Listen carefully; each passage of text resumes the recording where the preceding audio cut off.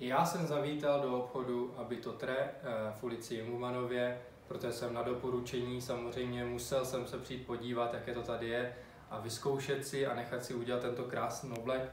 Podívejte se, krásný materiál, krásně mi to sedí, úžasný, moje fialová barva, no nemůže to být lepší, zkuste ji vy určitě.